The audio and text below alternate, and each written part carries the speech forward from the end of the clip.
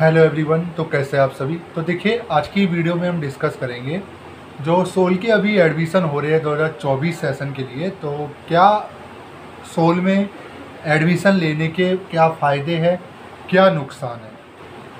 आज हम इस चीज़ के बारे में बात करेंगे। क्या सही में सोल के अंदर एडमिशन लेने का कोई बेनिफिट आपको मिलेगा? क्या क्या चीज़ें रहती है सोल में? सारा कुछ आज हम डिस्कस करेंगे। मुझे लगता है ये आज तक पूरे यूट्यूब पे पहली वीडियो होगी, जिसमें मैं सोल के फ़ायदे और नुकसान बताऊँगा। और कुछ जो पिछले कुछ सालों से जो सोल के अंदर चीज़ों में बदलाव आया है चेंजेस आया है क्या क्या हमें डिसएडवांटेज देखने को मिली, वो सारी चीज़ें मैं डिस्कस करूँगा। तो मेरा नाम है विवेक और आप देख रहे हैं कॉलेज अपडेट जहाँ पे हम आपको टैम सारी अपडेट प्रोवाइड करवाते हैं दिल्ली विश्वविद्यालय से जुड़ी। तो आज हम ऐसे कॉलेज की बात कर रहे हैं, जिसको स्कूल ऑफ़ ओपन लर्निंग यानी एस बोला जाता है।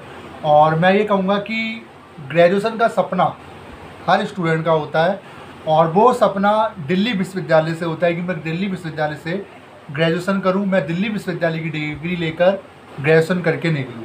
तो हो क्या रहा था कि अभी पहले मेरिट बेस्ड एडमिशन होते थे तो मोस्टली ऐसे स्टूडेंट थे जिनकी परसेंटेज काफ़ी कम आती थी तो उनको एडमिशन नहीं मिलता था। बट वहीं बात की जाए सीयूटी आया सी यू टी आने के बाद हुआ क्या? कि उसमें भी एंट्रेंस डाल दिया गया। अब सबको तो एडमिशन मिलना पॉसिबल नहीं है क्योंकि यहाँ पे सीट्स जो है रेगुलर में काफ़ी लिमिटेड है और एडमिशन लेने वाले लाखों हैं। तो ऐसी कंडीशन में स्कूल ऑफ़ ओपन लर्निंग उन बच्चों को मौका देता है जो बच्चे दिल्ली विश्वविद्यालय से स्टडी करना चाहते हैं, दिल्ली विश्वविद्यालय की डिग्री लेना चाहते हैं। तो school of open open learning जो कि दिल्ली विश्वविद्यालय का ही ये कॉलेज है, जी हाँ। मैं आज उसी कॉलेज की बात कर रहा हूँ जिससे हर साल लाखों बच्चे ग्रेजुएट होकर निकलते हैं और हज़ारों बच्चे पोस्ट ग्रेजुएट होकर अपना जो डिग्री कोर्स है। उसको कंप्लीट करते हैं एक्चुअली एस 2019 से पहले एसओएल के अंदर सबसे ज़्यादा एस इसी वजह से फ़ेमस था कि इसके जो पेपर थे वो साल में एक बार हुआ करते थे। बट एसओएल में जैसे चेंजेस आए, देखिए, बदलाव ही विकास है, मैं तो सही बता रहा हूँ, जब बदलाव नहीं होगा तब तक हम आगे कैसे बढ़ेंगे? तो एसओएल में चेंजेस आए नियम आए यूजीसी के नियम आए तो जिसके बाद इसके अंदर सेमेस्टर जो मोड है, वो लागू किया गया। और उसके बाद अब जो अब एग्ज़ाम है, वो सेमेस्टर वाइज होते हैं। और देन उसके बाद 2022 में एन इसके अंदर लागू कर दिया गया। और अब इसके अंदर न्यू एजुकेशन पॉलिसी भी आपको देखने को मिलती है। अब बात कर लेते हैं कि, सर, हम एडमिशन तो ले रहे हैं। क्या हमें इससे कोई नुकसान तो नहीं है? क्या बेनिफिट है, वो भी हमें बता दीजिए। देखिए, जो रियलिटी होती है, हर कॉलेज की, वो जानना काफ़ी ज़रूरी होती है। और जहाँ हम बात करें ग्रेजुएसन की, क्योंकि यहाँ ग्रेजुएसन में मुझे लगता है मोस्टली स्टूडेंट कॉम्पिटेटिव एग्ज़ाम की भी तैयारी कर रहे होंगे। मोस्टली स्टूडेंट ऐसे होंगे जो ग्रेजुएट होने का किसी बड़े कॉलेज में जाने का सपना देख रहे होंगे तो कहीं ना कहीं ये चीज़ें काफ़ी ज़रूरी होती है। अब बात कर लेते हैं आपके ग्रेजुएसन की, अगर आप एसोल से ग्रेजुएसन करते हो, उसके फ़ायदे क्या है? पहले फ़ायदे की बात कर लेते हैं, फिर नुकसान की बात करते हैं। देखिए, पहला फ़ायदा तो यही है, जो मैंने अभी बताया, दिल्ली विश्वविद्यालय की डिग्री, जो कि दिल्ली विश्वविद्यालय खुद में एक ब्रांड है। देखिए, मैं आपको सिंपल सी बात बताता हूँ। ब्रांड जो होता है ना, वो पहले बिकता है सिंपल सी बात है। तो दिल्ली विश्वविद्यालय एक खुद में ब्रांड है, सुनने में बहुत अच्छा लगता है और अगर आपने दिल्ली विश्वविद्यालय से ग्रेजुएशन किया हुआ है और आप किसी सेकंड बंदे को बोलते हो कि I am graduate for university of Delhi तो कहीं ना कहीं वो सुनने में काफ़ी अच्छा लगता था यानी एक ब्रांड का एक नेम का फ़र्क पड़ता है और इतना बड़ा कॉलेज एक रिस्पेक्टिव कॉलेज जिसके अंदर कहीं ना कहीं इतने कोर्सेज होते हैं और उससे आप कोई एक कोर्स करके ग्रेजुएट हो रहे हो तो काफ़ी बड़ी बात है। तो पहला बेनिफिट यही रहेगा कि आपको दिल्ली विश्वविद्यालय एसओएल से पढ़ने का बेनिफिट यही है कि दिल्ली विश्वविद्यालय का नाम आपके साथ जुड़ जाता है। यूनिवर्सिटी आपकी दिल्ली विश्वविद्यालय रहती है और जो कॉलेज रहता है वो एसओएल रहता है क्योंकि जो कॉलेज में आप एडमिशन ले रहे हो एसओएल है। ठीक है? दूसरा बेनिफिट क्या है? देखिए दूसरा बेनिफिट जो ये रहता है कि आप एसओएल में एडमिशन ले, लेने के बाद आप अपनी जो एग्ज़ाम्स की अदर एग्ज़ाम की जो तैयारी है वो बहुत आसानी से कर सकते हो। क्यों? क्योंकि इसके अंदर क्लासेस लेने की बाध्यता नहीं होती।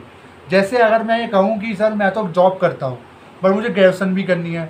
सर मैं कॉम्पिटेटिव एग्ज़ाम की तैयारी कर रहा हूँ, मैं यूपीएससी कर रहा हूँ, पर क्या मैं अपने ग्रेजुएसन साथ में कर सकता? तो एस वो चीज़ आपको प्रोवाइड करवा रहा है कि आप एस में पढ़ते पढ़ते अपना ग्रेजुएसन भी कीजिए सी एस सी एस जो भी एग्ज़ाम आप दे रहे हो, उनकी भी आप तैयारी कर सकते हो। यानी एक साथ दो फ़ायदे आपको देखने को मिलते हैं। ये सबसे बड़ा बेनिफिट आपको दूसरा मिलता है। तीसरा बेनिफिट की बात की जाए इसके अंदर कोई भी एंट्रेंस एग्ज़ाम या मेरिट बेस्ड कोई सिस्टम इसके अंदर लागू फ़िलहाल नहीं है।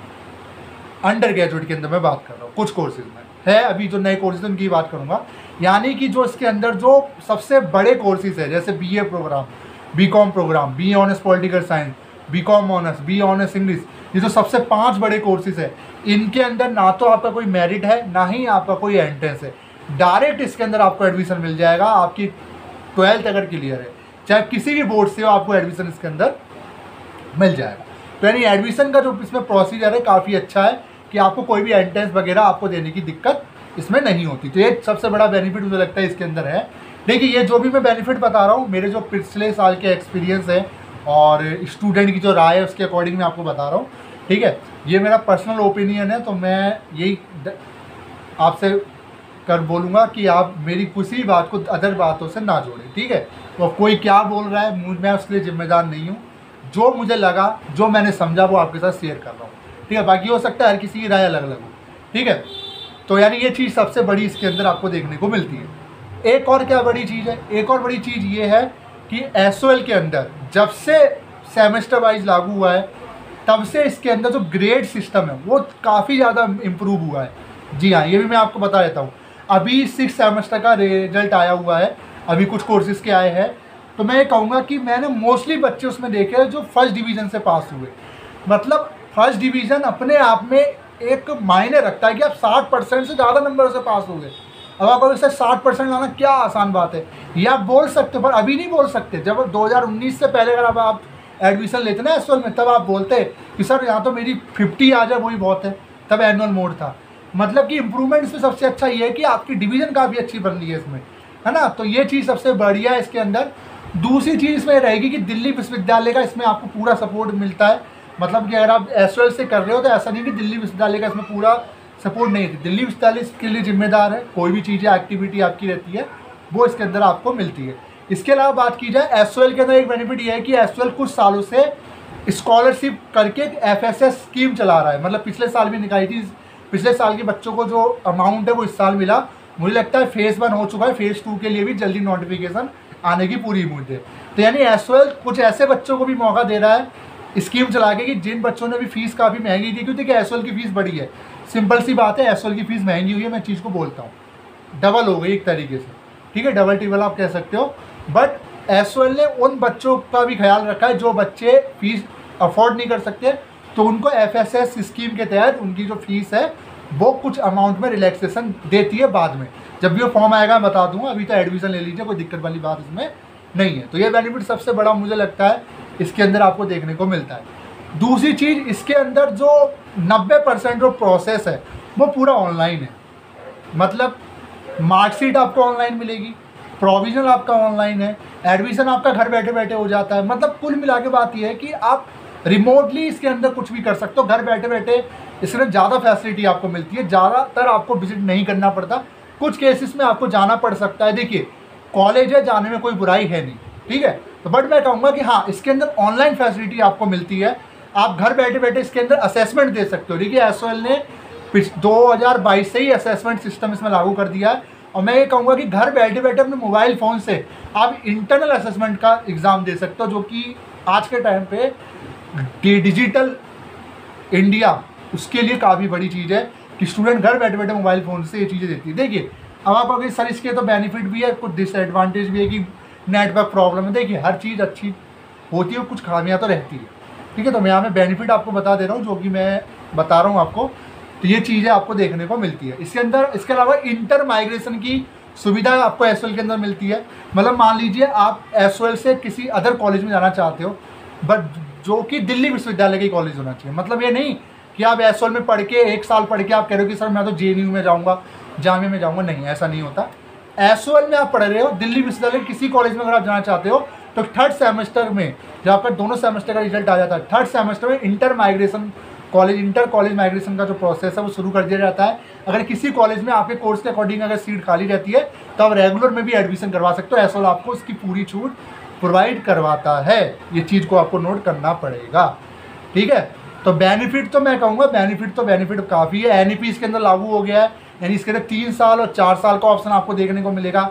इस बार जितने भी एडमिशन ले रहे दो हज़ार चौबीस में मतलब तीन साल का ग्रेजुएशन कर लो, चार साल का कर लो। और इसके अलावा प्लेसमेंट की सुविधा भी एस आपको दे रहा है। मैं तो ये कहूँगा कि अभी इंटर्नशिप नहीं निकली थी, अब उसका रिज़ल्ट तो अभी खैर नहीं आया है। बट इंटर्नशिप निकली और प्लेसमेंट भी निकलती रहती है बीच बीच में मोस्टली गर्ल्स के लिए तो निकलती है। और स्किल कोर्सेज भी इसके अंदर काफ़ी ज़्यादा निकाले गए हैं।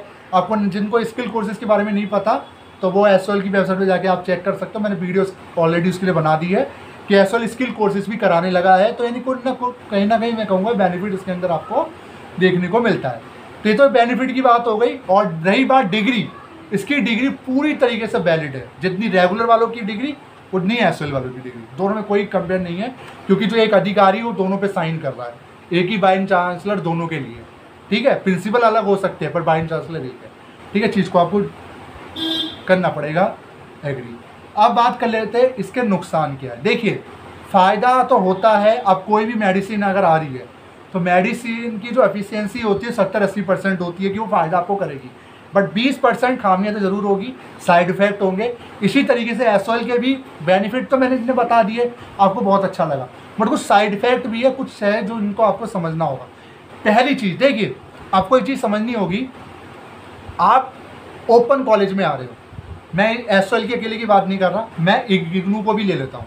इग्नू हो एस आज के टाइम पे सबसे बड़ी दो बड़े कॉलेज है यूनिवर्सिटी है।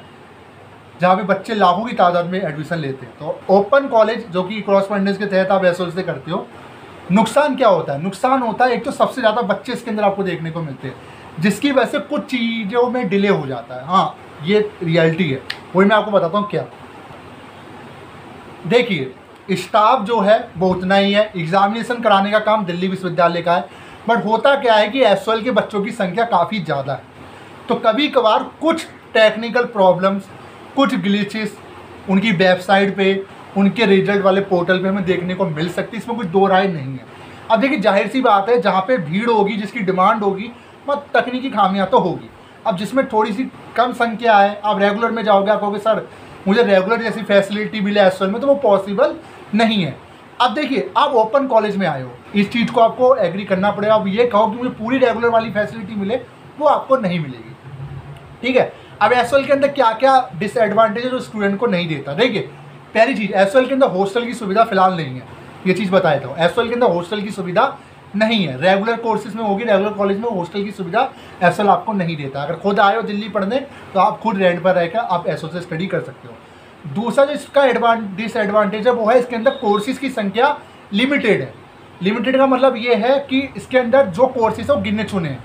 मतलब तकरीबन अभी अगर मैं सारे कोर्सेज जोड़ दूँ अंडर ग्रेजुएट के तो नौ से दस कोर्सेज आपको देखने को मिल जाएँगे। बट मान लीजिए मुझे बीएससी करना है, क्या मैं एसओएल से बीएससी कर सकता हूँ? जी, नहीं कर सकता। क्यों? क्योंकि एस बी कराते ही नहीं है। तो मुझे उन्हीं दस कोर्सेज में से ही मुझे लेना पड़ेगा, अगर मैं दिल्ली विश्वविद्यालय के स्कूल ऑफ़ ओपन लर्निंग से अगर मैं एडमिशन लेना चाहता हूँ। तो यानी इसके अंदर कोर्सेज की संख्या कम है, ये चीज़ को आपको मानना पड़ेगा। अब एसओएल ने इतने, पहले तो एस के अंदर पाँच कोर्सेज हुआ करते थे। पिछले कुछ सालों में एस ने इम्प्रूवमेंट किया कोर्सेज बढ़ा रही है। और आने वाले कुछ टाइम में भी एस और कोर्सेज लेकर आएगी। और मुझे लगता है कि कोर्सेज की संख्या काफ़ी बढ़ जाएगी। बट आप ये कहना चाहोगे, सर, मैं बी बी ए आपका बी बी ए तो इसके अंदर है। बी एस सी करना चाहूँ, या मैं कोई बी ऑनर्स जियोग्राफी करूँ, या बी ऑनर्स अलग उस संस्कृत करूँ, ये सारी फैसिलिटी अभी फ़िलहाल एस के पास नहीं है। ऑनर्स के बीच में गिने चुने कोर्सेज जैसे B honours economics B honours psychology B honours political science B honours English ये कुछ कोर्सेज इसके अंदर आपको देखने को मिलते हैं। बात की बी ए प्रोग्राम है। ठीक है? तो ये चीज़ें आपको देखनी पड़ेगी। दूसरा डिसएडवांटेज क्या है? दूसरा डिसएडवांटेज ये है कि आपको दिल्ली आना पड़ेगा एग्ज़ाम देने के लिए। जी हाँ ये सच्चाई मैं आपको बता देता हूँ। अगर आप अदर स्टेट से बिलोंग करते हो, अगर आप दिल्ली विश्वविद्यालय में एसओ में पढ़ना चाहते हो तो आपको दिल्ली आकर ही एग्ज़ाम देना पड़ेगा। अब आप कहोगे, सर, मैं तो दिल्ली नहीं आ सकता, मेरा तो घर में आए मैं क्या करूँ? देखिए इसके एग्जामिनेशन सेंटर सारे दिल्ली में ही हैं, जितने भी रेगुलर कॉलेज है दिल्ली विश्वविद्यालय के, उन्हीं में इनके एग्ज़ाम्स होते हैं। ये खुद एक कॉलेज है। तो मैं इस चीज़ को बता देता हूँ।